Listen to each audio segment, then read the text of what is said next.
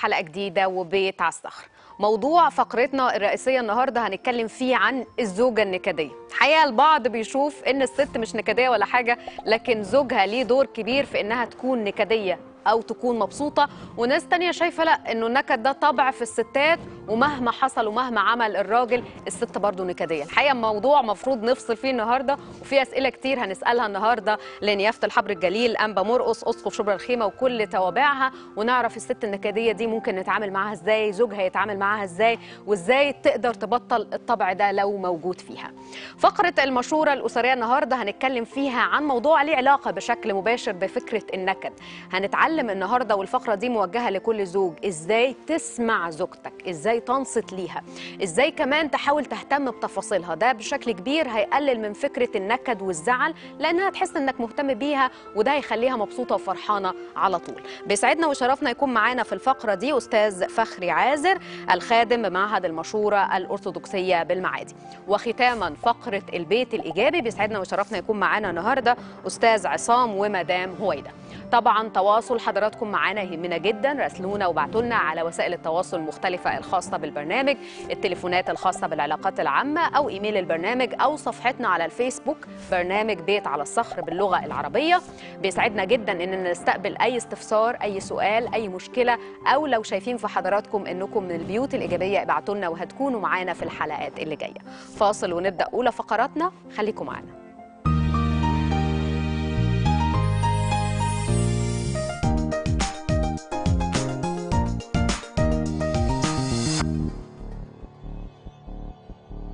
مواقف بسيطة.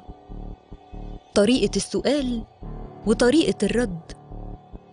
تبني حائط سد بين الزوجين. فين فرد الشراب استنى ما تشوفها في أي درج من الأدراج اللي جوه؟ مش شايفني بتفرج على التلفزيون. مش فاهم عيشة إيه دي. ونفس الموقف ممكن يحصل بطريقة أفضل. حبيبتي فين فرد الشراب تعرفي؟ آه ثانية يا حبيبي هقوم أجيبها لك. راعي سؤالك يكون بطريقة لطيفة. وكمان ردك يعكس اهتمامك. بيتنا اللي على الصخر سوا نبنيه.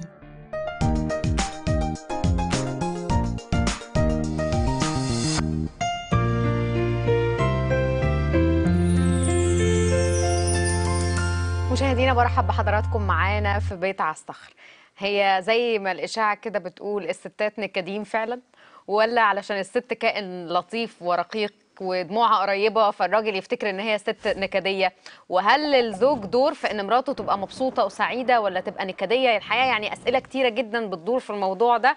النهاردة هنسأل كل الأسئلة دي لنيافة الحبر الجليل أنبا مرقص اسقف شبر الرخيمة وكل توابع أهلا بنيافتك. معانا يا سيدي أهلا وسهلا. موضوع مهم ورجالة كتير بيتكلموا في موضوع إنه الستات نكديين. هي دي إشاعة سيدنا ولا الستات نكديين؟ طبعا لا في ستات حلوين قوي قوي آه حتى ناس في الكتاب بيقول امرأة فاضلة من يجدها يعني موجودة. والكتاب نفسه بيقول بالحكمة تبني المرأة البيت. ففي آه سيدات حكيمات جدا جدا والبيت بيبقى معاهم زي الفل. لكن في آه نكد والنكد ده أنواع و- وأشكال كتيرة. زي إيه؟ يعني مثلا في واحدة طبعها نكدي. طبعها يعني ما تحبش استقرار في البيت ودي قليلين جدا جدا.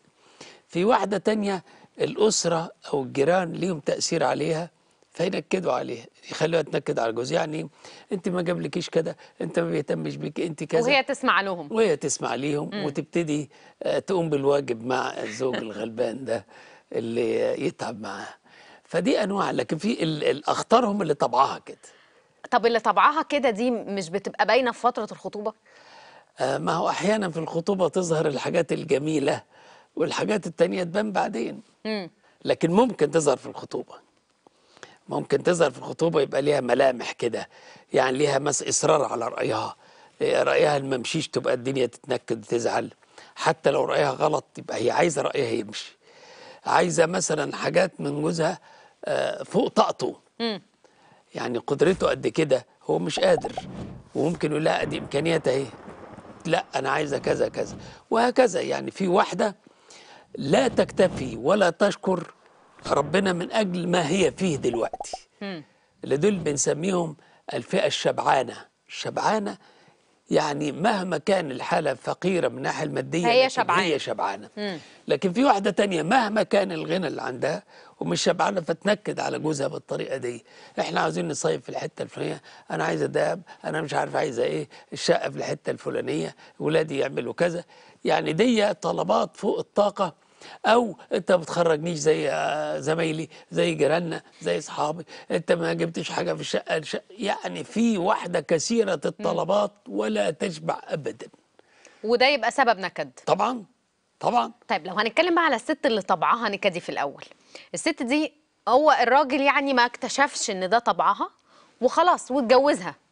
واكتشف بعد كده بقى إن هي ست نكدية وده طبعها ومش عارف يغيره. يتصرف معاها إزاي؟ هو يحاول على قدر طاقته يراضيها فيما يستطيع. وبعدين الباقي يقول لها طب يا بنتي أدي إيه؟ أدي دخلنا الشهر أهو. شوفي هنعمل بإيه. هناكل بإيه؟ ونسكن بإيه والكهرباء بإيه والحاجات دي بإيه والباقي نعمل بإيه. إحنا آه، في البيت مع بعضينا. إحنا إنسان واحد دلوقتي. يعني يشركها في المسؤولية. يشركها في المسؤولية وهي الواقع أهو. أدي داخلنا أهو. يا دوب هيقضي العيشة بتاعتنا. عايزة زيادة أجيب منين؟ وأنا ما أحبش السلف وما أحبش الجمعيات. أنا همشي على قد دخلنا. نتفق على كده. لا هات زيادة. طب أجيب لك منين؟ منين؟ طبعا هي آه، ممكن تروح قايله لأهلها ولا الجيران أهو مش عايز يجيب لي. طب أعمل معاه إيه؟ يعني أنا مش كفاية تعبانة في البيت وكذا كذا وبرضه مش عايز يجيب. طب يعمل إيه الراجل؟ حد يقول للراجل يعمل إيه أكتر من كده. حاجة تانية ربما هو بيحب هو مثلا وحيد لوالديه أو بيحب دايما يكلم والديه يحب يقابلهم كل فترة يقعد معاهم. من حقه آه أنت رحت عن عند أسرتك عند مامتك عشان توصيك عليا. ما جايز بالعكس جايز توصيه توصيه كويسة من صالحها. آه فتزعل يعني وتنكد عليه علشان راح وتنكد عليه عشان راح عند أهله. أو أهله في ضيقة مالية فاقتصد جزءا من دخله عشان يصرف على أهله. ما برضه الكتاب يقول اكرم أباك وأمك. آه أنت بتاخد فلوس البيت وتصرفها على أهلك. طب ما آه، اللي يعوزوا البيت يكون أحسن من بره. وهكذا تقعد تنكد عليه يا عيني من لا شيء. أو دخلنا قليل ما تشوف لك شغلة بعد الظهر يا ستي أنا وظيفتي كذا ما ملهاش وظيفة بعد الظهر دي. طب شوفوا لي انت وظيفة بعد الظهر. لا لازم تتصرف وتجيب. يا ستي أنا دخلي قد كده ولما اتجوزتيني عارفة ان دخلي قد كده وبشتغل الوظيفه الفلانية. لا يبقى أنت مش بتحبني يبقى أنت مش عاوز تشوف البيت عايز إيه. فتضغط عليه وهو مش قادر. وفي واحد لا قدرته يقدر ولا دراسته ولا إمكانياته يقدر. خلاص هو آه مثلا يعني في واحد من 8 إمكانياته ما. تسمحلوش إنه يشتغل أكتر من شغلانة. آه يعني مثلا من 8 ل 5 هيرجع البيت 6 7 هيشتغل تاني يعمل إيه يعني؟ حاجة صعبة طبعا. يعني نيافتك شايف إنه معظم الأسباب اللي بت... بتجيب النكد أسباب ليها علاقة بالفلوس أسباب مادية يعني؟ غالبيتها مادية. غالبيتها.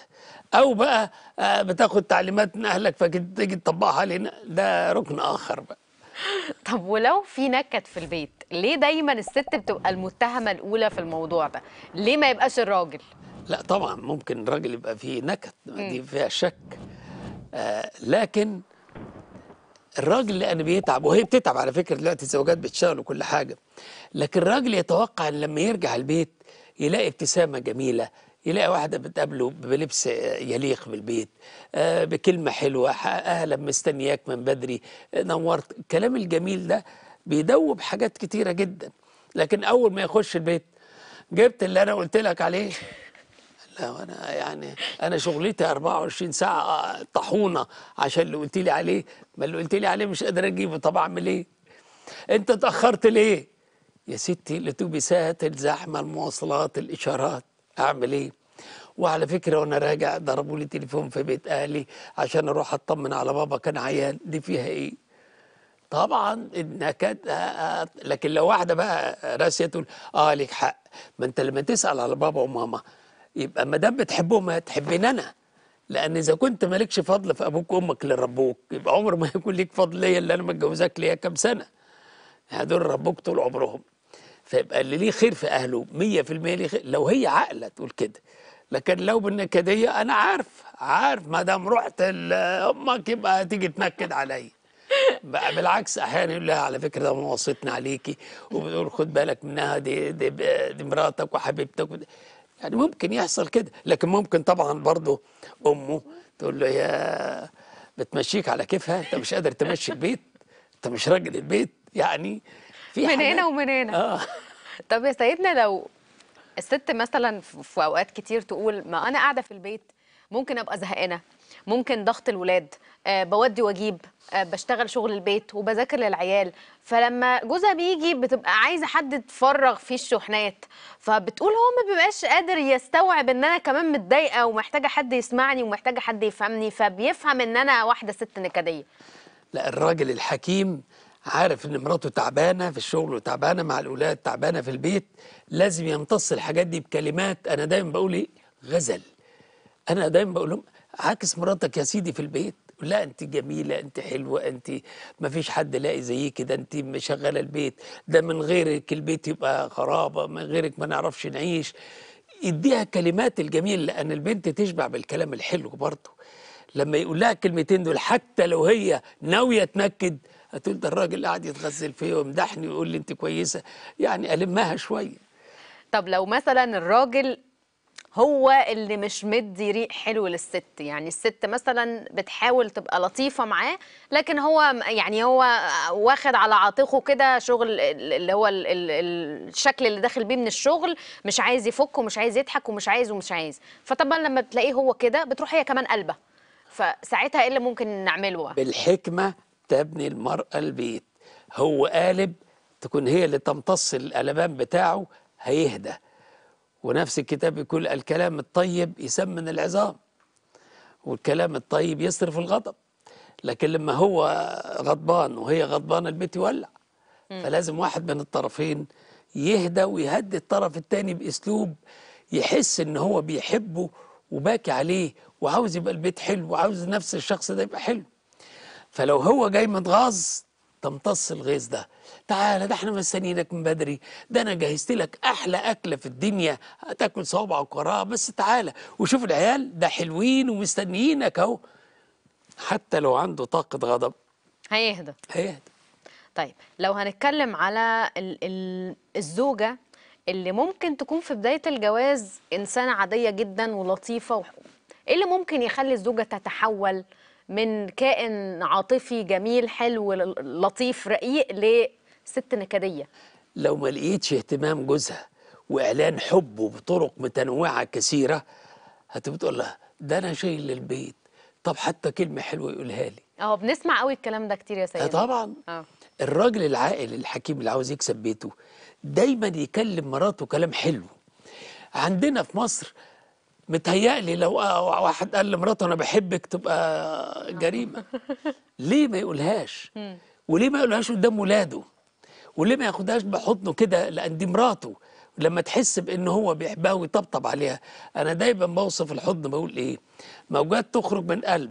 تروح للقلب يبادلها موجات أخرى. فالواحد يبقى شديد. والكتاب بيقول المحبه لا تسقط ابدا. ولما الواحد بيحضر واحد بيطبطب بيقول له أنا في ظهرك أهو سندك. والتاني يقول له إيه؟ وأنا برضه سندك. إحنا ساندين بعض. الكلام ده والتصرفات دي مهما كان في البيت نكد. بيقل بالتدريج يقل بالتدريج. يكملها بقى. أنا تعبتك النهارده. شايله شغل البيت. ربنا يخليكي. وأنا عارف ان بتتعبي حتى في الأكل وبتتعبي من ضغط البيت. أنا مش عارف من غيرك أعمل إيه. الكلام ده دي كلمات سحرية دي. يخلي لو أي واحدة متضايقة مش مش هتتضايق. طبعاً. خلاص الموضوع انتهى. طيب في بعض الأزواج برضو هو يقول إنه أنا مراتي طول الوقت نكدية وبتفكر في حاجات تافهة وأي حاجة بسيطة تعملها مشكلة كبيرة.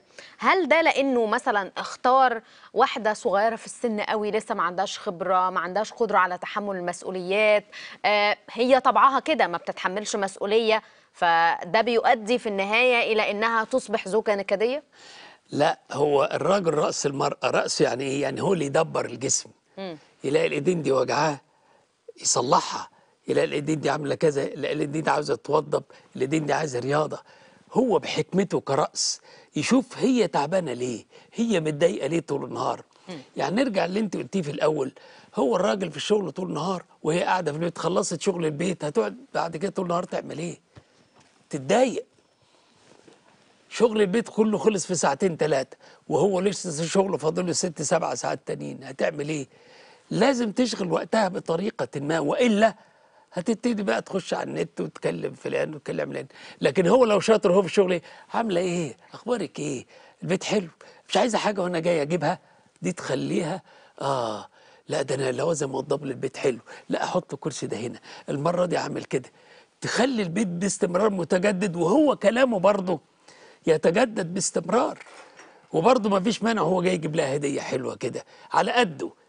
حاجة بسيطة كده تحسسها إن هو بيهتم بيها وفاكرها. آه. وأنا فاكر كده قال لي قدرت أجيب وردة حلوة جبتها. توكة جميلة بسيطة. على قده جاب لكن هي تحس اهتم ودور وجاب تقول يا أنا عايز إيه أكتر من كده.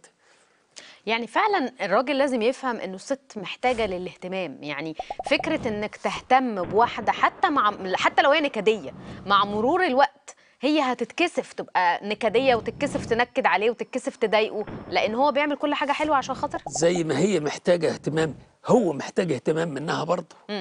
محتاج كلمة حلوة منها. لكن هو بس وان واي كله كلام حلو وهي تقفيل. هيجي في وقت يقول أنا زهقت. حتى ما فيش كلمة حلوة تقولها. لكن هو يقول وهي تبادله كلام. هي تقول وهو يبادلها كلام. تبادل في كلام الحب الجميل ده والمجاملات الحلوة والحكيمة وأيضا الاهتمام اللي هو يبني البيت يهتم بمراته بجميع النواحي ياخد باله منها ويشوف هي عايزة إيه وحاجات كلها معروفة هو عارفها لما يهتم بيها لا يمكن تنكد عليه. لو نكدت يوم تقول تاني يوم أنا زعلته امبارح. لا أنا أنا لازم أعتذر له وأصلح الزعل ده وأعمل له حاجة حلوة النهارده. هيجي البيت يلاقي البيت زي الفل وحلو وهكلمه كلام زي العسل. وهو برضه لي أنا زعلت مراتي امبارح وكان لي أنا غلطان وهي ليها حق. أنا لما أرجع لازم أقول لها حقك عليا. الكلام ده الحكايات دي والاهتمام بإن مشاعر التاني لازم يهتم بمشاعره. لقيه حزين؟ يشاركه في الحزن. يلاقيه فرحان؟ يزود الفرح بتاعه. يشاركه في الحزن يعني إيه؟ يشيل منه شوية حزن. بشوية بشوية يتحول الحزن لفرح طيب في ستات عاطفيين جدا بطبعهم يعني دمعتهم قريبة ما بيعرفوش يعبروا عن مشاكلهم غير بالعياط. آه، هي دي طريقتهم في التعبير. ده بيترجم بشكل تلقائي إلى إنه الست دي نكدية طول الوقت بتعيط وطول الوقت زعلانة وطول الوقت حزينة. الراجل إزاي يقدر يفهم إن دي طريقة من طرق التعبير في بعض الأحيان عند الستات؟ عارفة لو هي بتعيط وجوزها خدها حضنها كده قال لي معلش يا حبيبتي حقك علي أنا عارف اللي دي الحاجات دي مضايقاكي. الظروف اللي في البيت ظروف الشغل ظروفي أنا آه، معلش ال- ال- الدنيا هتبقى زي الفل. لو عمل كده الدموع دي تحول لفرح. لكن أحيانا طول النهار بكى يعني هي بتبكي وأنت تزود عليها. طب يا أخي اشترك معاه وخفف. لازم عاطفيا يحس ببعض لازم. هي تحس إن جاية من الشغل متضايق تخفف عنه. مش تزود نكده ما انت لو انت واخد بالك من شغلك كان الدنيا تبقى حلوة. يا ستي ده راجل تعبان من الدنيا. قولي له معلش عدت المرة دي أنا واثقة المرة الجاية ربنا هيكون معاك ويسندك وتعدي على خير. كده الكلام الحلو ده. المشاركة العاطفية مهمة قوي في الحزن وفي الفرح. لازم يشاركوا بعض في الحاجات دي. طيب لما بيكون الزوج طول الوقت مشغول وبعيد عن البيت وهي اللي مت- متحملة مسؤولية ده في حاجة كده بتتغير جوه الست بتخليها بتميل أكتر لفكرة إن هي تبقى إيه متحملة المسؤوليات واخدة شكل الرجالي كده يعني من الآخر أنا مش عارفة أدور لها على مصطلح خفيف شوية لكن الست من كتر ما بتتحمل مسؤوليات أحيانا بتاخد الشكل اللي ما فيهوش مشاعر الشكل الجامد. فالراجل بيشوفها على إنها أصبحت بلا مشاعر أصبحت نكدية. ساعتها إزاي يقدر يتعامل معاها؟ إزاي يقدر يديها ثقة في نفسها؟ يحسسها إن هي حلوة؟ هو ياخد الركن ده يمتدح فيها الركن ده. لا برافو عليكي أنا الحقيقة سايب البيت كل مسؤوليتك بالحكمة تبني المرأة البيت. أنت اللي شايلاه. أنا يا يعني يا دوب أنا بجيب قرشين وبحطهم في البيت لكن أنت شايله البيت نظفت البيت والأكل والولاد وبتهتمي حتى بي أنا. ده ربنا يخليكي ربنا يقويكي. تعالي جنبي كده ويقعدوا جنب بعض ويحكوا مع بعض. بص تلاقي الأمور هديت. هو يقدر يدخل مشاعر الحب والعاطفة جواها هو يقدر. زي ما هي تقدر هو برضه يقدر. بس مش هو يقدر هو مطالب بكده. ولو ما عملش كده يبقى هينمي جواها النكد. لكن لو عمل اللي إحنا بنقول عليه هينمي جواها العاطفة والشعور والحب والحاجات الجميلة. فيخليها هي تحاول بقى تحسن من نقط الضعف اللي بالظبط. عندها علشان تبان قدامه أحلى. بالظبط كده. طيب أنا بستأذن نيافتك هنخرج لفاصل نشوف رأي الناس في موضوع حلقتنا النهارده ونرجع مرة تانية. اتفضلوا نخرج فاصل ونرجع مرة تانية.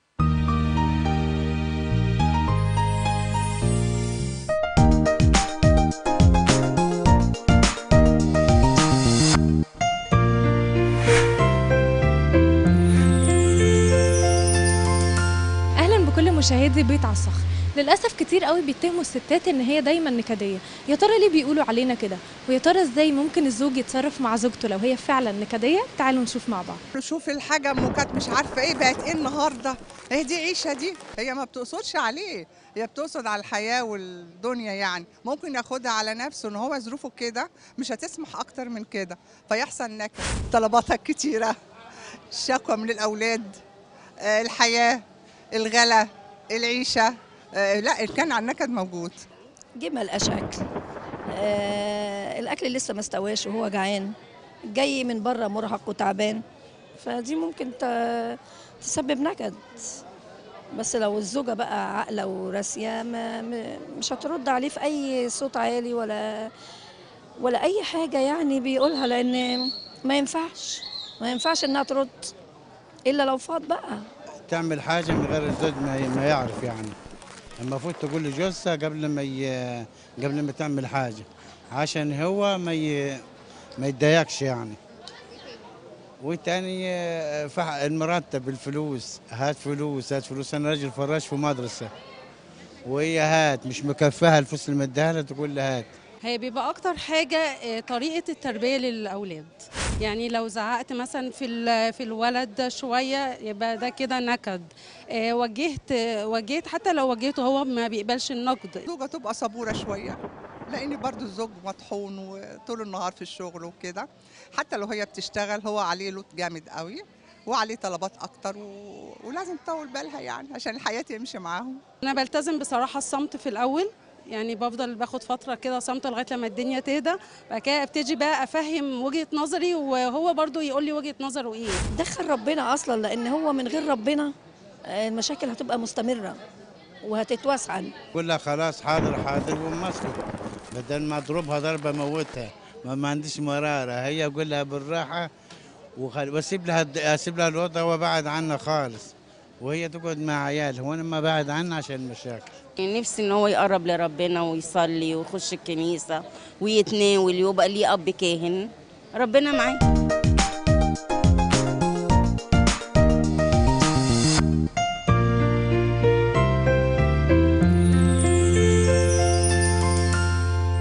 ورجعنا لكم مرة تانية بعد التقرير. برحب بنيافتك معانا يا سيدنا مرة تانية بعد التقرير. أهلا وسهلا بيكم. آه، أولا تعليق نيافتك على آراء الناس. أهو غالبية الناس ده على فكرة دول معايشين الواقع. أكتر مننا يعني. آه طبعا كلامهم غالبيته مظبوط جدا لأن ده عن حياة. لكن في نقطة الحقيقة أنا ما قلتهاش من الأول. لو البيت ده زي ما الكتاب بيقول بيوت صلاة وإحنا بنقول لهم بيوت صلاة بيوت طهارة بيوت بركة.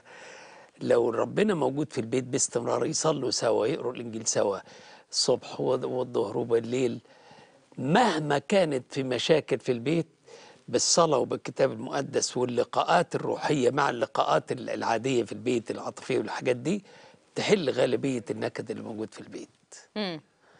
في في آه، حد في التقرير كان بيتكلم بيقول إنه يعني لما وقت الغضب يبعد علشان ما ما يخبطهاش بحاجة أو ما يضربهاش بحاجة الكتاب بيقول الك- الكلام اللين يصرف الغضب.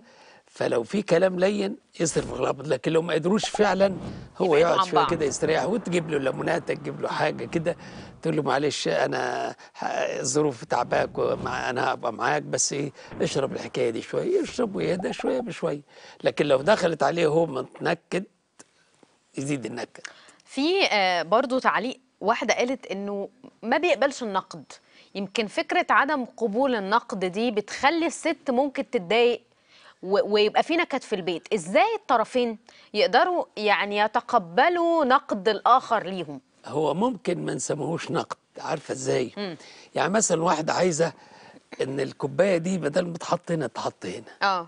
هي عايزة كده. فتقول جوزها إيه؟ إيه رأيك لو حطيناها هنا أحسن ولا هنا أحسن؟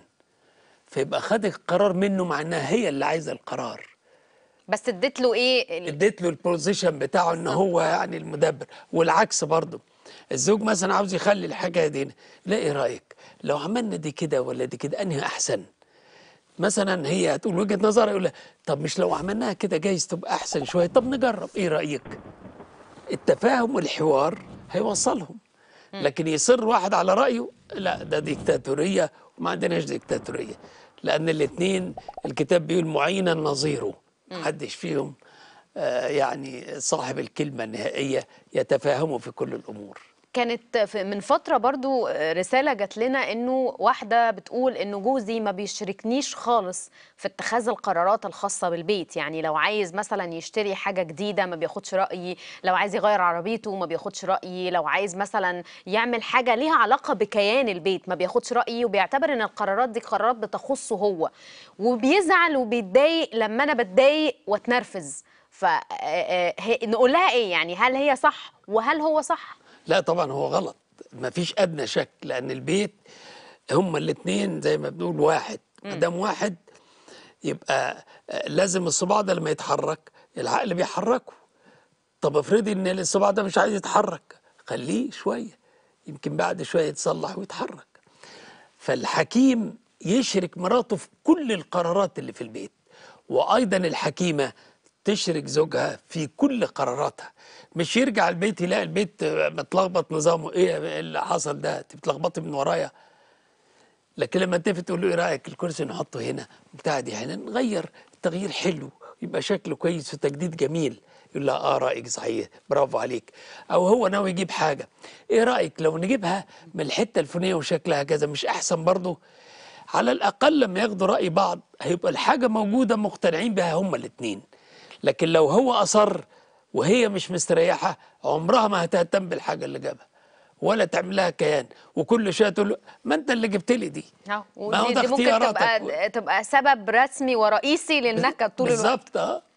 طيب لو هنتكلم على تربية الولاد ويمكن دي بيحصل فيها اختلافات كبيرة جدا ما بين الاتنين لأن كل واحد جاي من من من من خلفية اجتماعية عايز يربي ولاده زي ما هو اتربى. إزاي ما تكونش تربية الولاد سبب للخلاف ما بين الاتنين وبشكل كبير للست لأن الست أحيانا بتبقى متشبثة ببعض الحاجات فلما بيخالفها هو بتتضايق وبتتنرفز وبتبان إنها نكدية. هو المفروض في البداية يتفقوا على طريقة التربية. مم. واحد يشد التاني يرخي. لكن الاثنين شدوا البيت يتعب. الاثنين رخوا البيت يبوظ. فلازم يتفقوا. طب أنا هشد المرة دي النهارده وأنت إيه؟ ترخي. هو يجي بعد يومين طب معلش أنا هشد وأنت إيه تطبطبي عليه. بالاتفاق اتفاق طبعا مم. لكن يمشي هو أنا هعمل كذا وتخبطي دماغك في الحيط أو أنا هعمل كذا وأنت ما بتعرفش حاجة في البيت البيت يتعب ويخرب وعلى فكرة الولاد ممكن تنتهز فرصة خلاف الزوجين آه بيعرفوا. يستغلوها كويس جدا ويلعبوا تمام مم. يروحوا مثلا الزوجه مش عايزة تديهم فلوس عشان يخرجوا فتروح للزوج الولاد يروحوا الزوج آه أنتوا عايزين تخرجوا خدوا طبعا هتقول إن أنا ماليش شخصية في البيت. بعد كده مش هيروحوا لها. هيروحوا له هو. أو هو يكون شديد وهي الحنينة. يعني مثلا يا أولاد ما تخرجوش النهارده وذاكروا. ولد يقول لمامته أنا عايز أروح ألعب مع أصحابي شوية النهارده. طب روح. البيت يتعب. في تفرقة ضخمة. زي يعقوب وعيسو. كان واحد يميل لواحد الثانية تميل لواحد والبيت تعب نيافتك دلوقتي قلت كلمة مهمة جدا الكلمة دي يمكن هي سبب في النكد في معظم البيوت. اخبطي راسك في الحيط أو اخبط راسك في الحيط. التشبث بالرأي في موضوعات معينة ممكن يؤدي في النهاية إلى إنه النكد يبقى موجود بدون أي سبب. يعني أنا طول الوقت شايفة إنك شخص بتهمشني ومش عامل لي اعتبار. ونفس الحكاية للزوج. انت. شايفاني شخص ملوش لازمة ومش عاملة لي اعتبار. بدون ما تحصل أي حاجة إحنا متنكدين. بالظبط. لا ده ده في منتهى الخطورة. على فكرة الراجل العاقل قوي يسيب مسؤولية البيت كله لزوجته بس من حين لآخر يقول إيه؟ طب نعمل كذا طب نوضب كذا. ليه؟ الست في البيت عارفة طبيعة كل حي ولد من ولادها مم. عارفاه كويس قوي أكتر من راجل. راجل في شغله وفي في همه.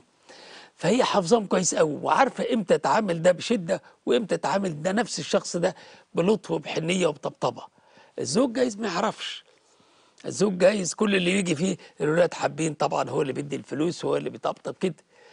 فالراجل الحكيم يقول طب أنت واخدة بالك من الوقت آه، اشركيني معاكي بعض الوقت إحنا نتفق سوا نعمل كذا. لكن هي أصلا هي اللي شايلة البيت.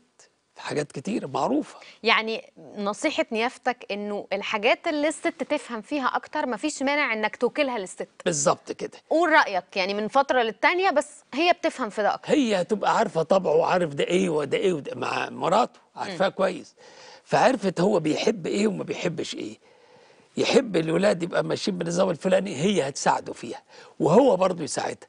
البيت أكل الفلاني والتوضيب الفلاني والحاجات الفلانية كلها تتوضب آه، بالاتفاق مع بعضهم بس هو لو شاطر خلاص اتفقنا على الخطوط الرئيسية شيل انت بقى الحكاية. ووقت ما تعوزين أنا موجود في البيت تحت أمرك. نشترك سوا في كل حاجة. تأثير المحيطين بقى. يعني آه، مثلا مامته جت زيارة في البيت فانتقدت بعض الحاجات فالزوجة زعلت.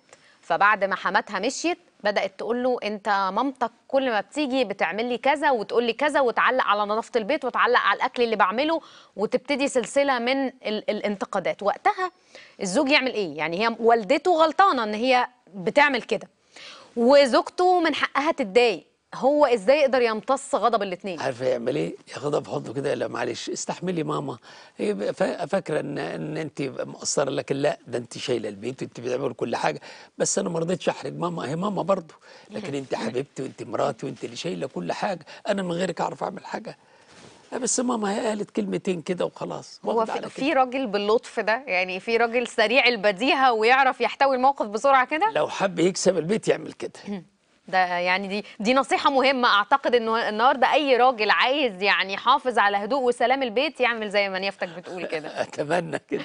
طيب يا سيدنا لو هنتكلم على بقى تأثير النكد ده سواء من الزوج أو الزوجة على علاقتهم الزوجية. لأنه بعض الأحيان ممكن يكون في مشكلة ما بينهم في علاقتهم آه وهم مش مدركين إنه النكد المتواصل هو السبب. بالظبط. آه، يعني كتير من المشاكل يبقى أساسها العلاقة اللي بين الاثنين العلاقة المباشرة دي. لكن لو هم شاطرين قوي يركنوا المشاكل في سكة ويخلوا العلاقة دي كلما تنمو المشاكل تقل. لكن لو طغت المشاكل على العلاقة العلاقة ضاعت والمشاكل باقية وهتزيد تبقى الدنيا خربت.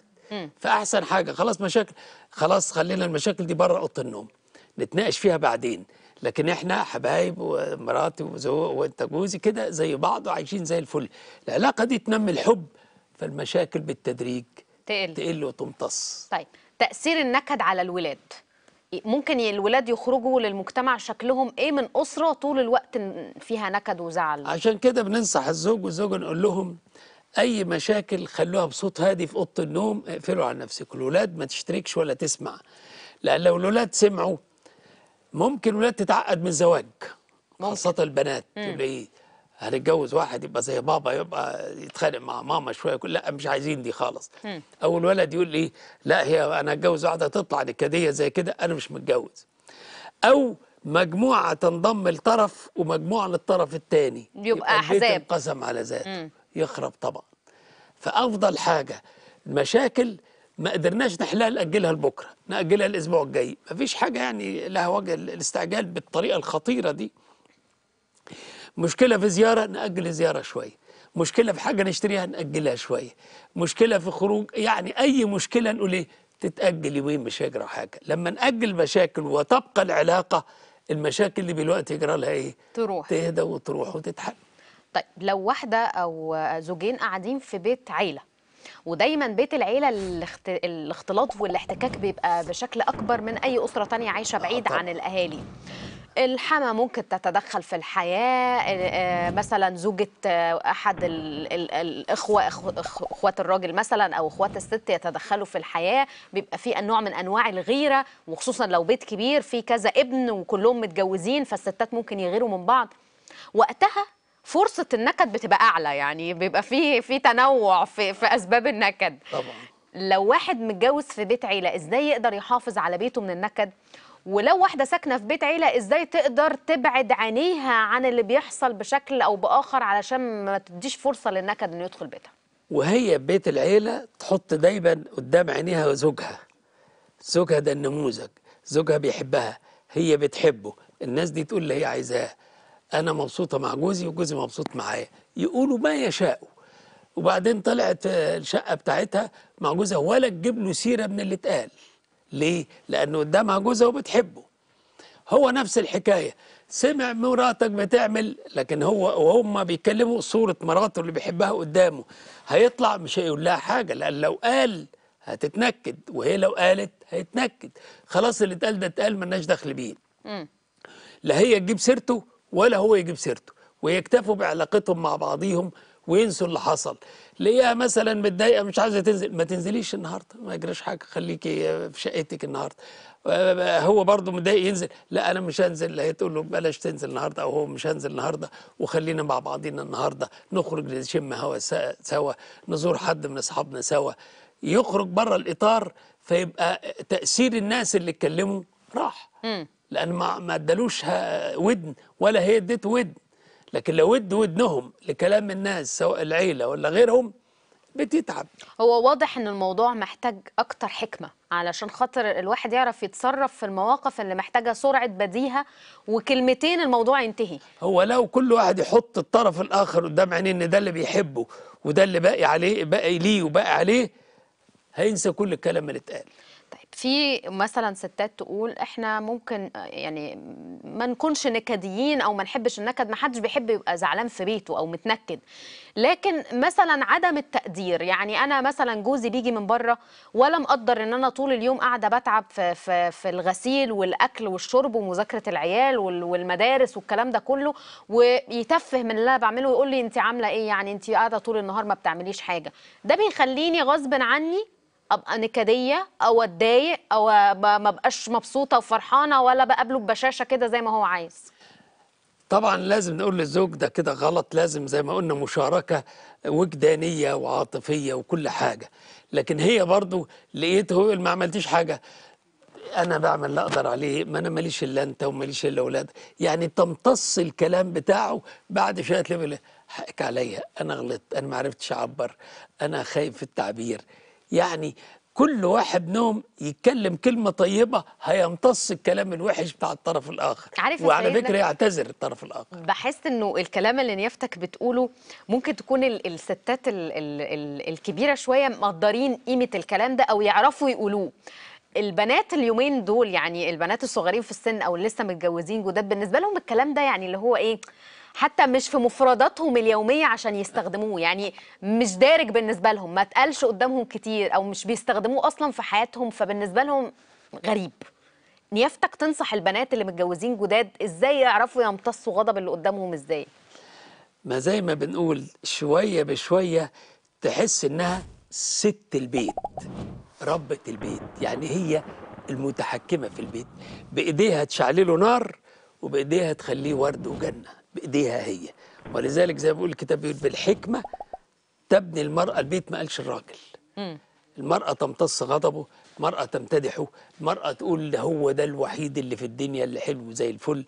هو لما يلاقي مراته باستمرار كده يعني حتى شوية بشوية هيبتدي يجاريها ببعض الكلمات لحد ما هو كمان يتعلم. ما برضه الشباب بتاع الأيام دي لسه برضه بيتعلموا. لحد ما يتعلم إزاي يربح مراته. وازاي هي تربح جوزها. دايما الربح اهتمام كلام طيب تعبير عن الحب. الحاجات دي يكسب فيها. اهتمام وكلام طيب وتعبير عن الحب. آه. إحنا أحيانا ممكن نبقى شاطرين في حاجة لكن الباقيين لأ. يعني لازم ما هو ده ثلاثي لازم يتجمع بعض آه. مع بعضيه زي ما الإنسان جسد وروح ونفس برضه لازم الثلاثه دول ما ينفعش بني آدم يعيش من غيرهم. ما ينفعش بني آدم في الدنيا يعيش من غير ما يهتم ومن غير ما يحب ومن غير ما يعبر عن الحب. ممكن في بعض الأحيان نغلط في إننا نخلي ولادنا يتعاملوا مع الطرف النكدي ده بشكل مختلف. يعني مثلا واحدة شايفة إن جوزها نكدي أو واحد شايف إن مراته نكدية فيستميل الأطفال ناحيته هو ويقول لهم ابعدوا عنه ده معرفش بيعمل كذا وابعدوا عن ماما دي ماما بتعمل كذا ابعدي عن بابا ده بابا ما ما طول الوقت عصبي وما تتكلميش معاه وما تاخديش رأيه. هل ممكن نبعد الولاد وإحنا مش فاهمين عن الطرف اللي إحنا شايفينه إن هو نكدي؟ أحيانا بيحصل كده وبصراحة ده غلط جدا. مم. زي ما بقول البيت هينقسم على نفسه. برضه مهما كان شوية هيسمعوا كلام الزوجة الأم وشوية هيسمعوا كلام الأب. وغالبا الأب لأن هو اللي معاه سلطة الصرف وسلطة الأمر والنهي فيميل ليه الجانب اللي عايز السلطة. آه. اللي عايز العاطفة هيميل للأم. أكتر. مم. فالبيت ينقسم. لكن لو كل من الاثنين ادى عاطفة وحكمة وحزم ومادة الاثنين يبقى الأولاد هيضموا للاثنين يبقى في معاملة آه واحدة للاثنين يبقى ما في البيت ما فيهوش نكد والأولاد هتتربى بين زوجين حلوين بيحبوا بعض. طيب لو زوج شاف إن زوجته إنسانة معلش عندها نقطة الضعف بتاعتها الغيرة بتغير من أصدقائها بتغير من صحباتها بتغير من الناس المحيطين بيها شايفة إن اللي عند الناس لازم يبقى عندها. وده طبعا سبب نكد إزاي يعرف يتعامل مع النوعية دي؟ هو في واحدة ما بتغيرش في الدنيا؟ هم يغيروا بس يا ريت مع الغيرة تشوف قدرتنا قد إيه. إيه القدرة بتاعتنا؟ يعني جارتي جابت فستان مش عارف كذا ألف. طب أنا جوزي يقدر يجيب بكذا مية. متشكرة خالص. ربنا يدينا زيادة وبكرة تنمو الحكاية. دي جوزها هيروح يفسحها مش عارف في أوروبا. لكن أنا يا دوب يمكن أخرج أتفسح في ال- الكافتيريا اللي جنب دي. حلوة. كويس. حاجة على قدينا. لو كل واحدة مع غيرتها تشوف مقدرة البيت تبقى الدنيا ماشية زي الفل. لكن أحيانا يحصل الاتي بقى تقول له آه أنا عرفت إنك بتروح عند ولاد عمتك عشان البت دي كويسة وعينيك بتبص لها. دي دخلنا في كارثة. يا ستي ده أنا بروح أنت معايا أهو. بتشوفيني بعمل إيه؟ تعالي معايا. تعالي نقعد سوا. أحيانا تبقى الغيرة من الناحية دي قاتلة. وبرضه زوج أحيانا يلاقي مرسى مراته واخدة على المرح واخده واخدة على الضحك تضحك مع الناس هو يغير. آه. انت مش شايفاني قاعد؟ يا سيدي أنا عملت حاجة. ما أنا طول عمري كده. ما انت زوجي وبحبك وهو برضو يقول لها انت مراتي وبحبك. ثق ان ما فيش حد هيدخل بينا خلاص. انت مراتي وربنا يعني سلمنا لبعض. خلاص خلصت الشغلانة. فأحيانا الغيرة تبقى قاتلة. في النوع ده تبقى قاتلة. لكن الأنواع التانية آه، ما جبتش ذهب. طب أعمل إيه يا بنتي؟ ده قدرتي كده. نقدر نجيب؟ ما اتفسحتش في البلد الفلاني. ما أنا مش قادر. يا ريت. أديك عارفة الدخل بتاعنا قد إيه. ففي غيرة حلها الحوار. لكن في غيرة الحوار بقى دي إيه؟ أنا عارفاك بتبص لفلانة. أو هو. أنا عارفك لما ابنها مش عارف عمك ولا بتكلمي زيادة وتبصي له كده دي دي كارثة دي. لازم كل واحد يحط في دماغه. هي اختارت ده من دون الناس يبقى ده جوزها وحبيبها. هو اختار دي من دون كل البنات يبقى هي دي مراته وحبيبته اللي بيحبها. وإلا كان اختار غيرها. بالظبط. أو إيه أو هي كانت تختار غيره. فلازم كل واحد يقول هي دي اللي ربنا بعتها لي هي دي المملكة بتاعتي.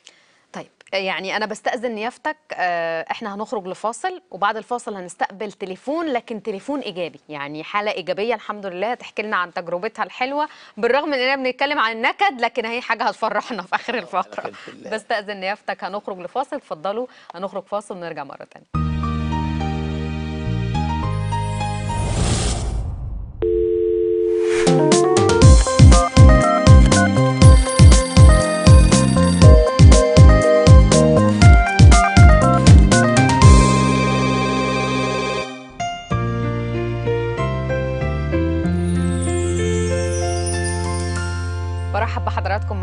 تانية. برحب بنيافتك معانا مرة تانية يا سيدنا. أهلا وسهلا. ومعانا أم كرولوس من الجيزة. ألو؟ ألو؟ أيوه. أهلا بيكي اتفضلي. أيوه مساء الخير يا فندم. مساء النور. بس علي صوتك شوية. آه. آه علي صوتك عشان. نسمعك آه، حابة أنا أشكركم على البرنامج الجميل ده وأسلم على أنبا مرس له اشكرنا في صلاة أشكرك. بتسلم على نيافتك يا سيدنا. آه متشكرين. أهلا بيكي. ماشي. في البداية أنا حابة أشكركم على البرنامج الجميل ده وحابة إن أنا أعيد على جوزي عشان عيد ميلادي يعني وكده. وأشكر جوزي على أسلوبه الكويس ومعاملته الجميل بجد أنت هايلة. يعني احكي لنا بقى قولي لنا جوزك بيعمل إيه علشان تبقي يعني مبسوطة كده وفرحانة وعايزة تهنيه بعيد ميلاده في البرنامج؟ هو جوزي إنسان طيب جدا وإنسان حنين دايما بيفكر في اللي حواليه قبل ما يفكر في نفسه يعني يفكر في ربنا الأول وبعد كده. يفكر في اللي حواليه كله. نفسه دي آخر حاجة ده لو فكر فيها. أنت شايفة إنه بيضحي كتير عشان أنتوا تبقوا مبسوطين؟ آه يضحي الأول المهم ال- الأسرة كلها البيت آه أهله كلهم الأول وبعد كده في آه، إحنا يعني نفسه دي بتبقى في الآخر. أنت متجوزة بقالك كام سنة؟ يعني هدفه كله إن هو يعني يشتغل عشان خاطر بيته وعشان خاطر ما يأثرش في حق بيته يعني. حلو قوي. متجوزة بقالك كام سنة؟ أربع سنين وسبع شهور. عندك أطفال؟ آه عندنا كورونا عنده ثلاث سنين ونص. ثلاث سنين ونص. ربنا يخليهولك يا رب. وبجد إحنا كلنا مبسوطين إن في نموذج إيجابي يعني حب إنه يتواصل معانا علشان يعني تعيدي على جوزك في البرنامج. كل سنة وهو طيب عقبال 100 سنة. إحنا هو بنعيد عليه. و- وسيدنا يعني عايز يقول لك حاجة. اتفضل يا سيدنا.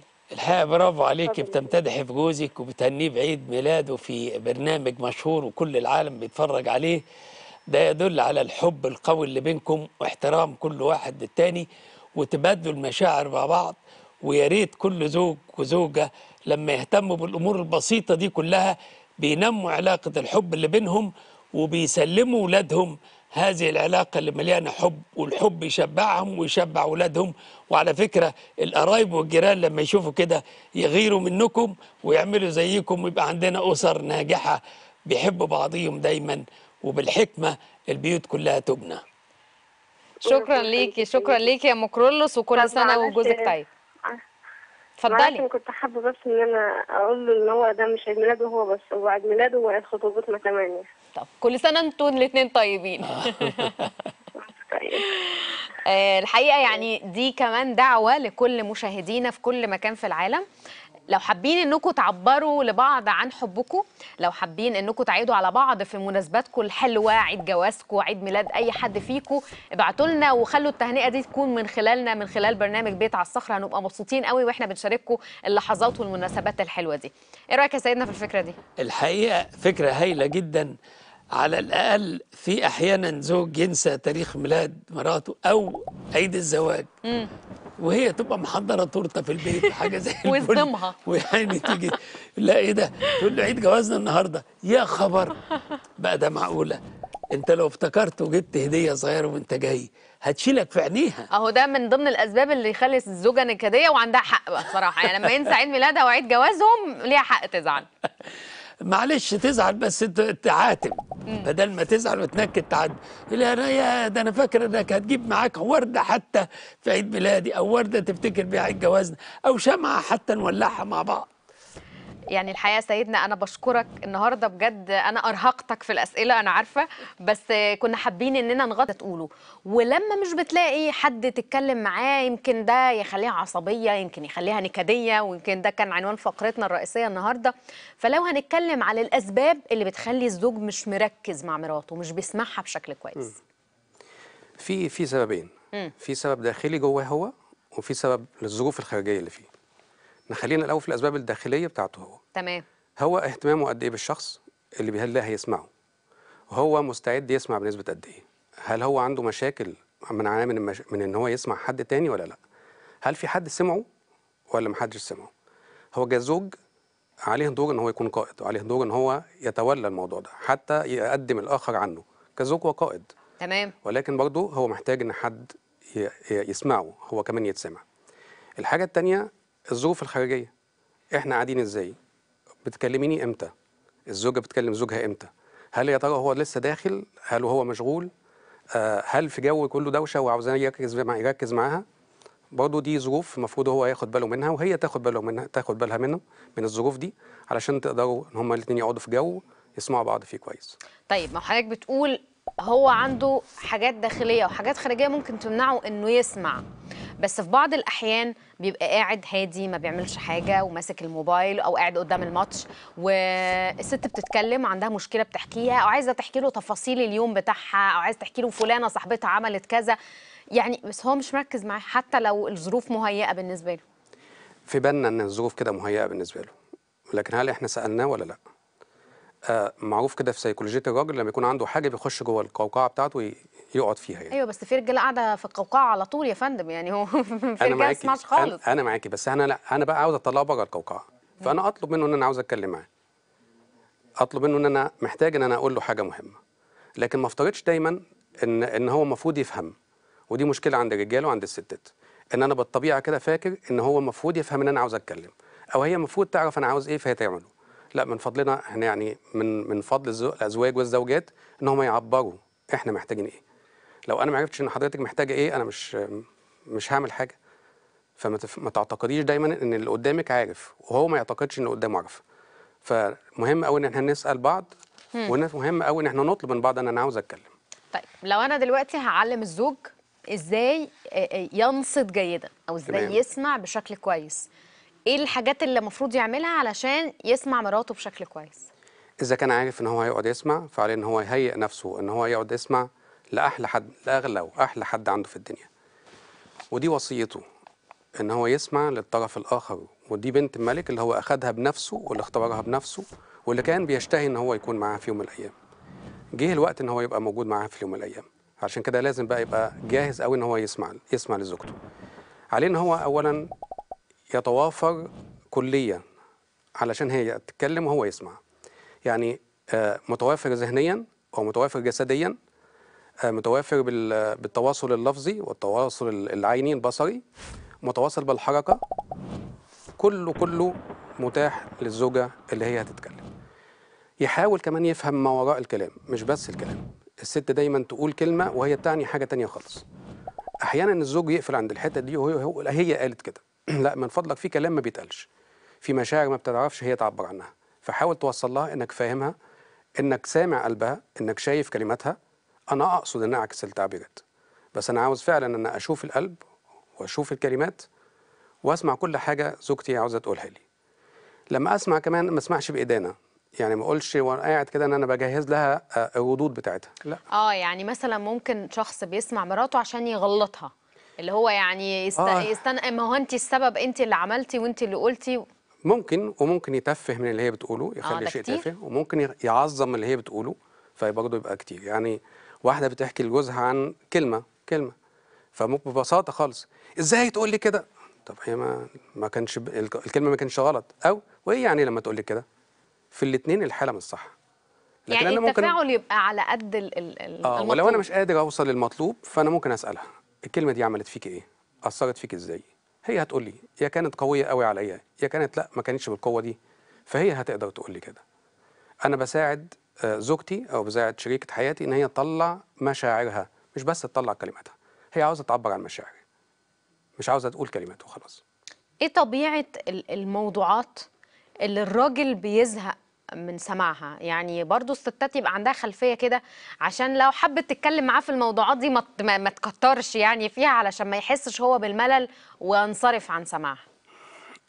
بص مش عاوز أحط على الراجل كتير بس أنا بحط عليه يعني, يعني مش مش عاوز احمله كتير لكن أنا ممكن احمله شوية. اولا آه، أي أي حديث لزوجتك هو حديث مقدس وحديث مهم جدا. إذا هي اختبرت إنك بتسمعها في الحاجات الصغيرة بإيجابية وبقداسة هتقدر تقول لك الحاجات الكبيرة. إذا ما قدرتش تسمعها في الحاجات الصغيرة هتخاف تقول لك الحاجات الكبيرة. لكن برضه الست يعني تنقي يعني لو هي شافت خلاص إن جوزها عنده استعداد يسمعها فيش بقى تخش بقى في التفاصيل اللي هي صغيره اللي هو بي ما بيفهمهاش. ربما يكون في زوج ما بيفهمش في المكياج ربما يكون في زوج ما بيفهمش في العلاقات النسائية صاحبتي وأختي وأختي وخالتي ما, ما بيفهمش في ده. فيبقى خلاص أنا عاوز أتكلم عن نفسي. أهم حاجة أتكلم عن نفسي مش مهم بقى أتكلم عن أطراف خارجية. عاوزة تكسبي جوزك؟ لو سمحتي كلميه عن اللي يخصه معاكي انت لكن يمكن الأخبار الخارجية ما تخصهوش. طيب ما هو آه، هي مثلا في بعض الأحيان ممكن تكون عايزة تخلق حوار يعني هي آه، هو قاعد ساكت وهي قاعدة ساكتة فبتبقى عايزة تخلق حوار.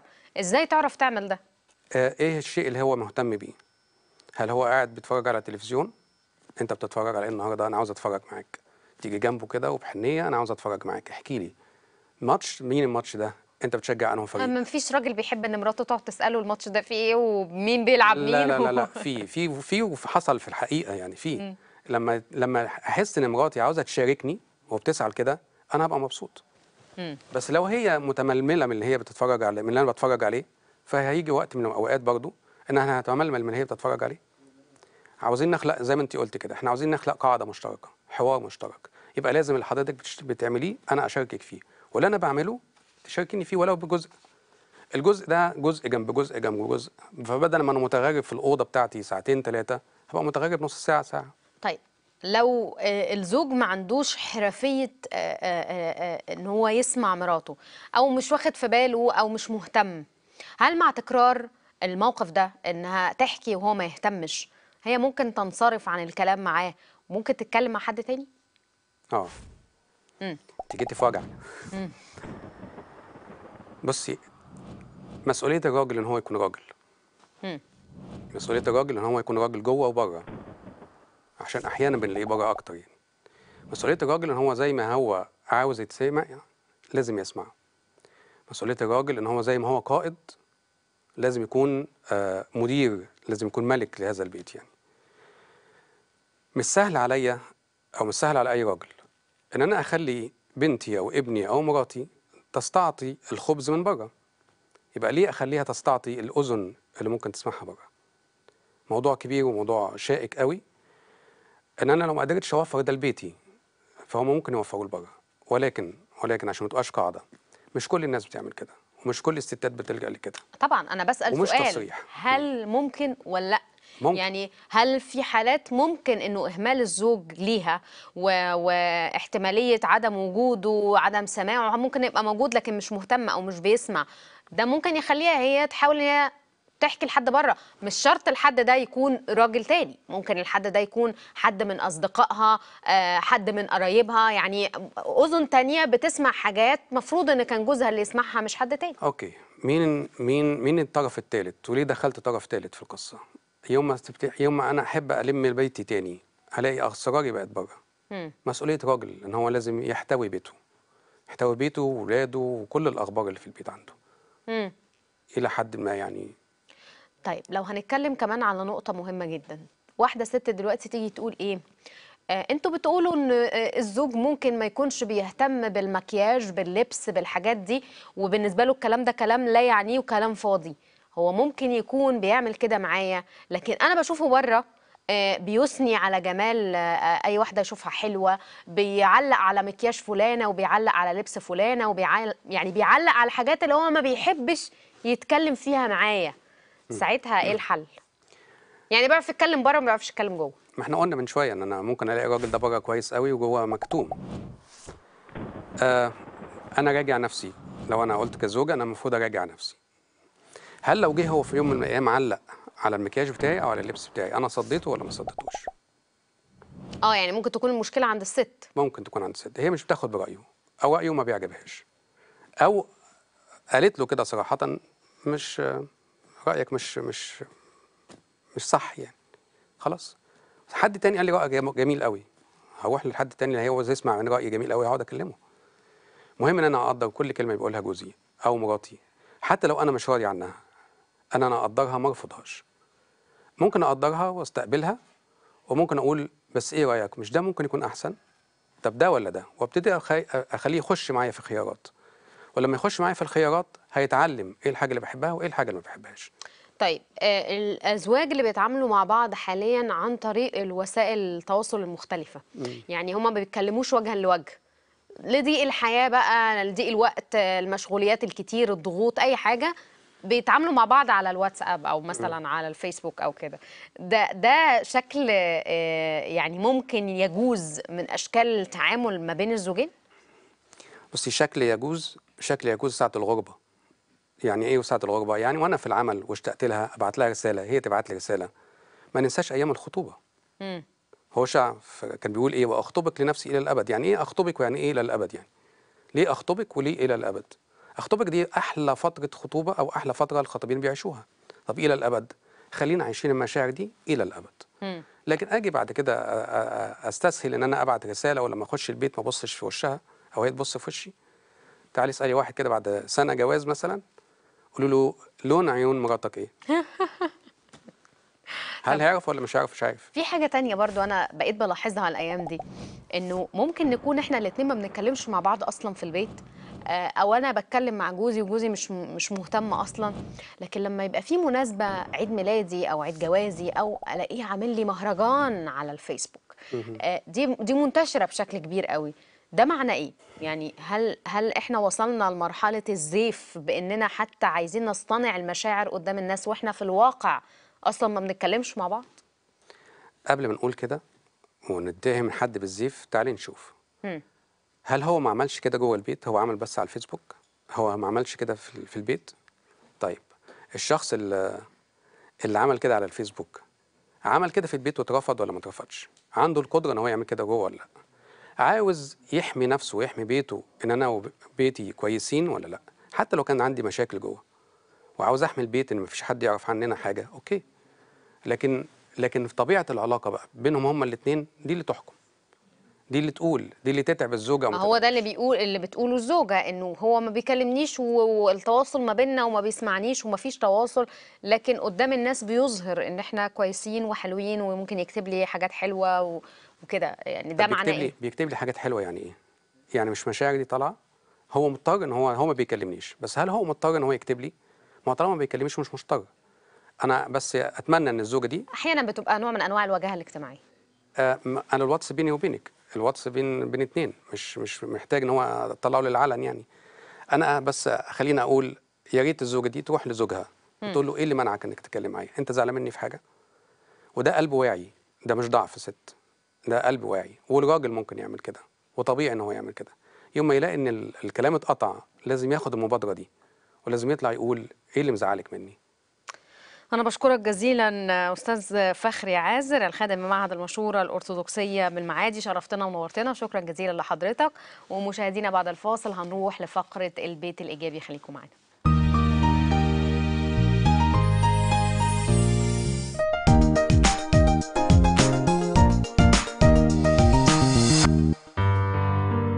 ومن إيدك يا رب بعتلي زوجة صالحة شاركتني حياتي وكل قراراتي.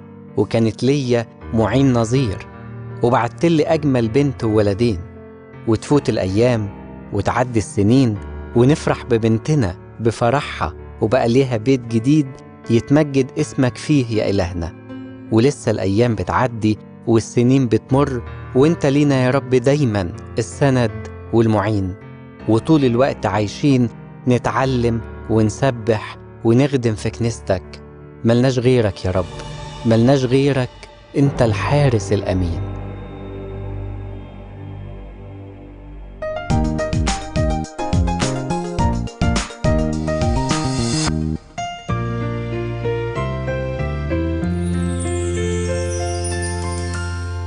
مشاهدينا برحب بحضراتكم معانا وفقرة البيت الإيجابي البيت المبني على الصخر. بسعدنا وشرفنا يكون معانا النهاردة أستاذ عصام فايز ومدام هويدا مكرم. أهلا بيكم معانا. هويدا أهلا بحضراتكم منورنا يعني النهارده كان الفقرة الرئيسية بنتكلم فيها عن الزوجة النكدية. يعني السؤال المعتاد بتاعي في الفقرة دي إنه بنتعرف الأول على الأسرة وتعرفتوا إزاي وعندكم أولاد إيه لكن أنا عايزة أبتدي النهارده بقى مع حضرتك بموضوع فقرتنا الرئيسية الزوجة النكدية. يعني قول لنا بصراحة كده شايف إيه؟ لا هو بس الموضوع ده بيختلف من زوجة لأخرى يعني. مم. ممكن تلاقي زوجة عليها أعباء كتيرة. فبتضطر إن هي يكون أسلوبها مختلف وفي زوجة بتبقى الأعباء بتاعتها قليلة فبتبان إن هي مش مش متنشنة شوية. آه.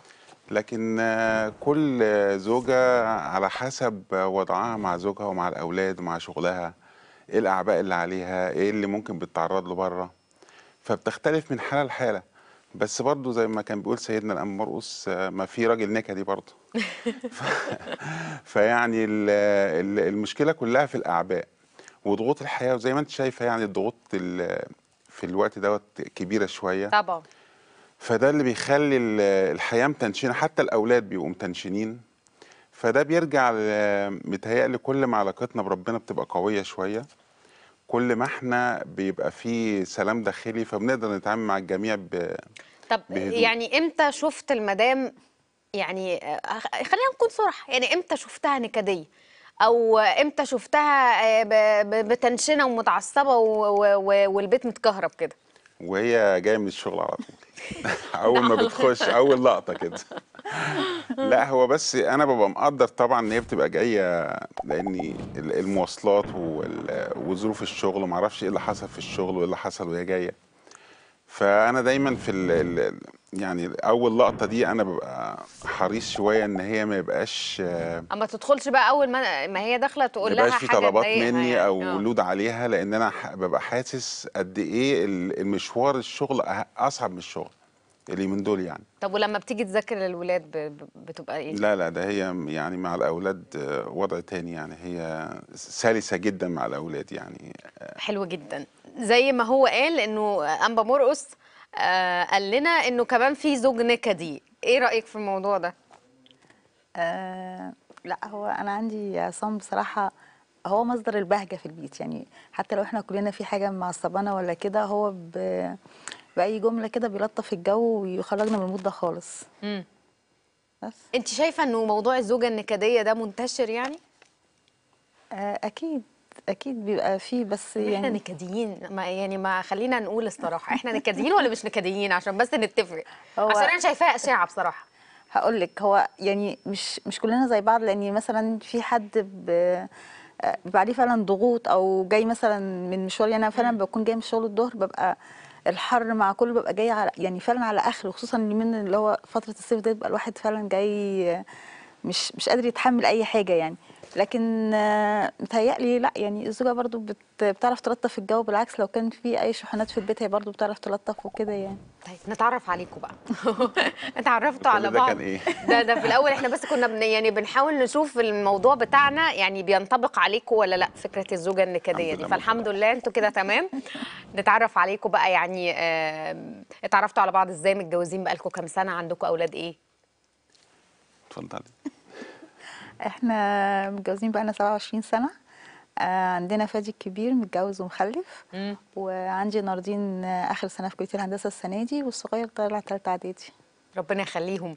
آم، وانتوا طبعا يعني آه، ربنا يخلي ولادكم كلكم مع بعض أسرة واحدة كده. آه، كنت شايف إيه أكتر الأوقات اللي كنت محتاج فيها مراتك تبقى سند ليك ودعم ليك طول الوقت؟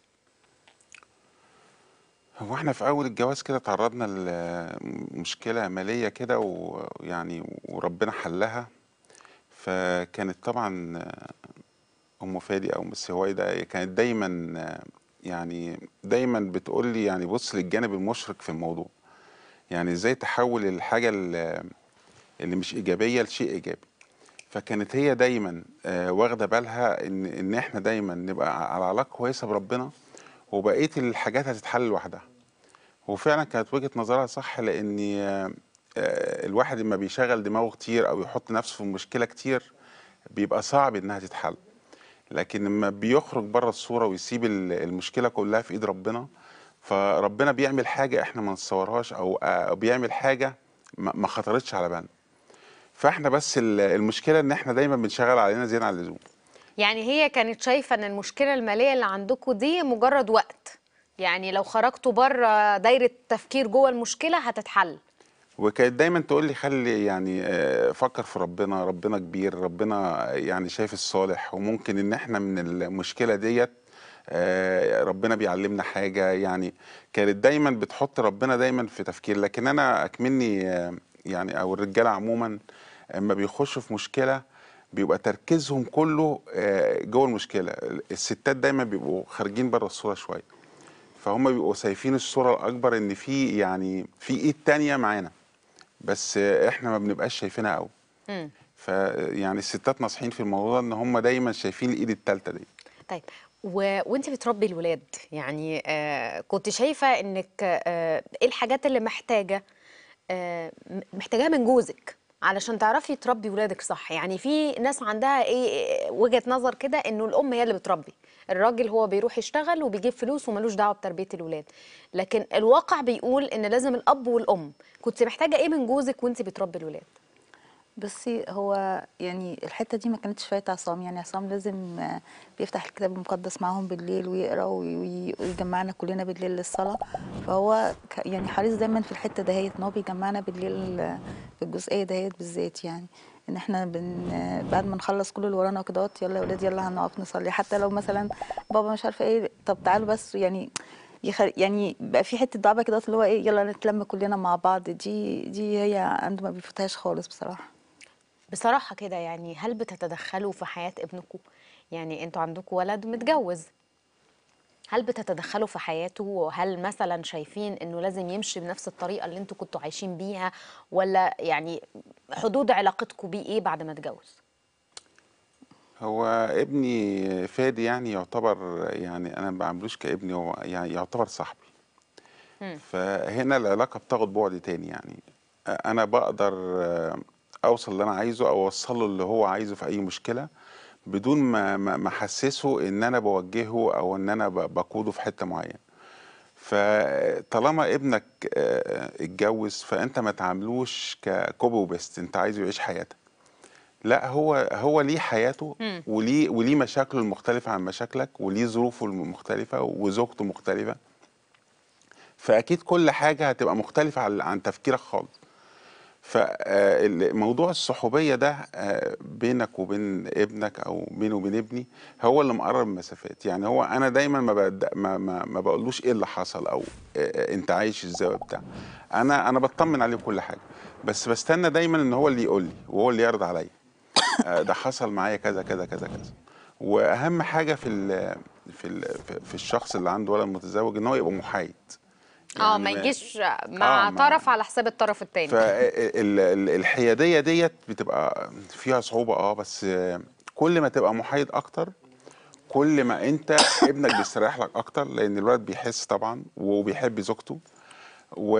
وتاني حاجة بتقدر توصل لحلول وبتقدر توصل اللي أنت عايزه بسهولة. طيب بما إنه حضرتك يعني حما صغيرة يعني حما صغيرة في السن آه إزاي قدرتي تستوعبي فكرة ان ابنك هيكون ليه زوجة؟ وزي امهات كتير جدا بتفكر انه لا دي جاية تاخد ابني مني. يعني أنا ربيت وتعبت وكبرت وفي واحدة جاية تاخد ابني مني على الجاهز. إزاي قدرتي يعني آه تتعاملي مع الفكرة دي؟ وبتعاملي إزاي مرات ابنك؟ بصي هو يعني فادي لما جه وكده وقال آه، فكر ان هو يتجوز وكده فدي كانت حاجة مفرحاني جدا. وشجعته عليها. طب يلا هتعمل إيه عشان تتجوز؟ يعني يبقى لازم نبتدي ناخدها جد شوية عشان الأمور تبتدي تمشي.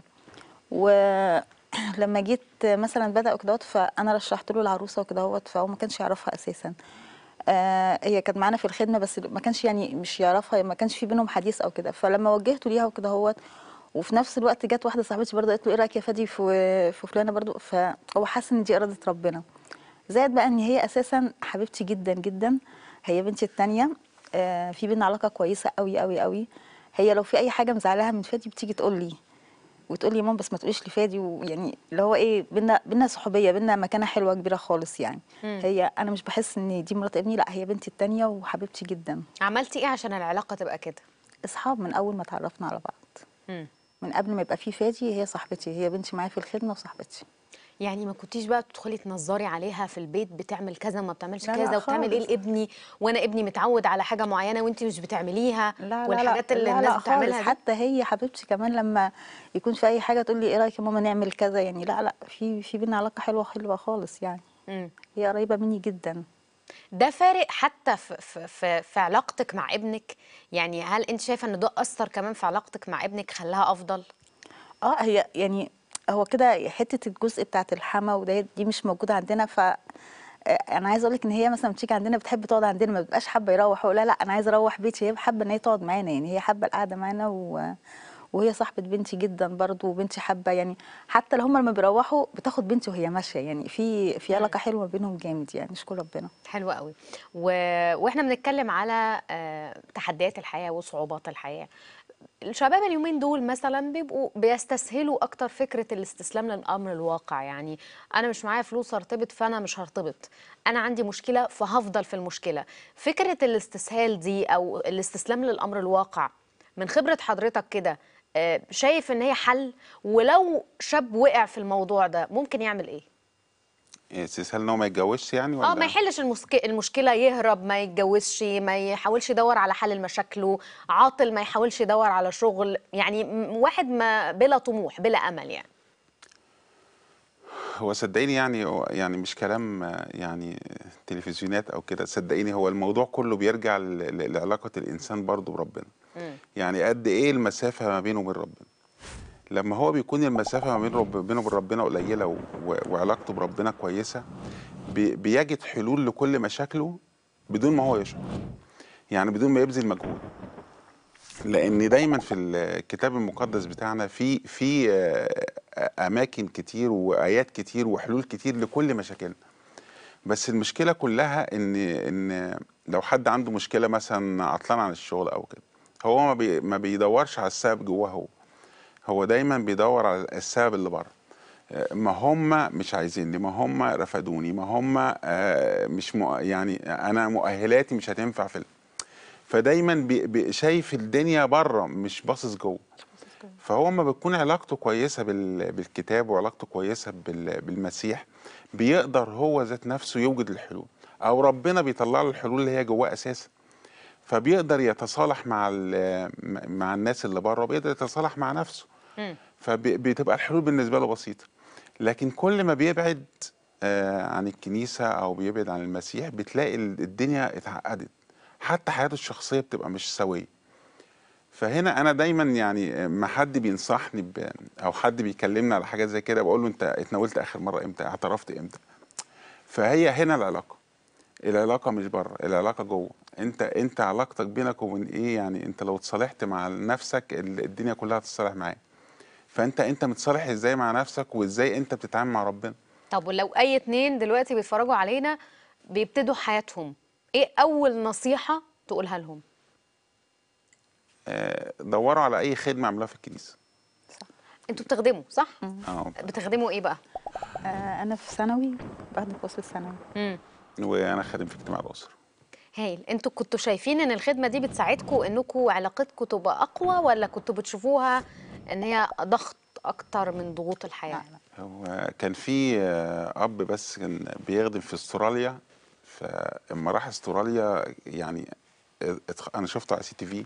فهم راح أستراليا اتخض من أسلوب الحياة وإزاي ولاده هيتأقلموا فهو صلى وقال لربنا أنا أنا هخدم ولادك وأنت آه، اخدم ولادي. شوف. ولادي. فهنا كل ما أنت بتبقى مخلص قوي في الخدمة وكل ما انت بتلاقي نفسك قوي مع أولاد ربنا وبتراعيهم جدا المشاكل اللي في بيتك لو في مشاكل بتتحل ولو في حد عندك من ولادك بيبقى يعني ماشي آه، ماشي مش مش عاجبك ربنا مش هو. اللي بتلاقي اتصلح حاله على طول. يعني أول نصيحة بتقولها لأي اتنين دوروا على حاجة دوروا على خدمة مشتركة مثلا يعني يعملوها مش هما شرط. الاثنين مش شرط.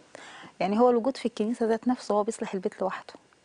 حقيقي. أنا بشكركم على الكلام الحلو ده كلام مشجع و... و... ويمكن إحنا وإحنا بنتكلم في أول الحلقة عن النكد والزعل وختمناها بحاجة حلوة. بيت إيجابي سعيد. بتمنى إن كل مشاهدينا يكونوا اتعلموا النهارده إزاي يتعاملوا مع بعض وإزاي لما يكون في حما تقدر إنها تكسب مرات ابنها لأن الموضوع ده إحنا اتكلمنا فيه كتير قبل كده وموضوع مهم. ويمكن سبب مشاكل بيوت كتيرة جدا إنه العلاقات ما بين الشخصيتين دول العلاقات يعني مش مترابطة إلى حد كبير أو فيها قلق. فلو إحنا عملنا الكلام اللي حضرتك بتقولي عليه واتبعنا النصيحة اللي حضرتك قلت عليها النهارده يمكن فعلا يكون ده نواة لبناء بيت مبني على الصخر بيت إيجابي. اشكركم جدا. شرفتونا ونورتونا. أستاذ عصام ومدام هويده شكرا لوجودكم معانا النهارده. مشاهدينا بشكركم جدا على متابعة حلقة النهارده. تواصلوا معانا على أرقام التليفونات اللي بتظهر قدام حضراتكم على الشاشة أو الإيميل الخاص بالبرنامج أو صفحتنا على الفيسبوك برنامج بيت على الصخر باللغة العربية. ابعتوا لنا أي سؤال أي استفسار أو أي مشكلة أو لو شايفين في نفسكم إنكم كمان من البيوت الإيجابية وتشرفونا معانا هنا في استوديو بيت على الصخر ابعتوا لنا وسيبوا أرقام تليفوناتكم وإحنا هنتواصل معاكم. أشوفكم الحلقة الجاية يوم السبت الجاي الساعة 8 مساء إلى اللقاء.